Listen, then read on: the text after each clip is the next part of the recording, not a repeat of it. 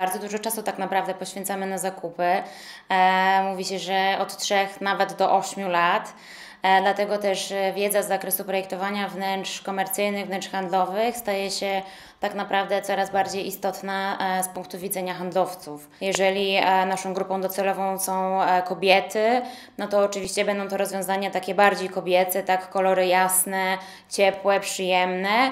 Jeśli mówimy o wnętrzach skierowanych do mężczyzn, będą to na pewno wnętrza o troszeczkę mocniejszych kolorach, mocniejszych akcentach takie wnętrza z charakterem.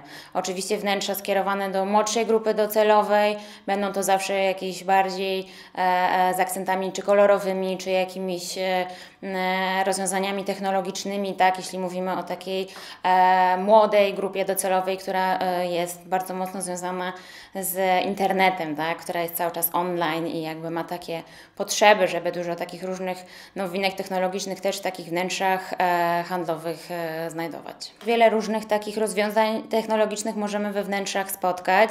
Mówię tutaj o różnych tabletach, o e-kioskach, czyli o takich odnośnikach, e, które pozwolą nam też we wnętrzu stacjonarnym tak naprawdę sprawdzić ofertę, którą możemy też znaleźć w sklepie internetowym, czy, czy jakby ideą jest to, żeby oczywiście w sklepie stacjonarnym e, móc e, poznać produkt, dotknąć, sprawdzić faktycznie jak wygląda, czy przymierzyć i wtedy ewentualnie dokonać takiej transakcji w internecie.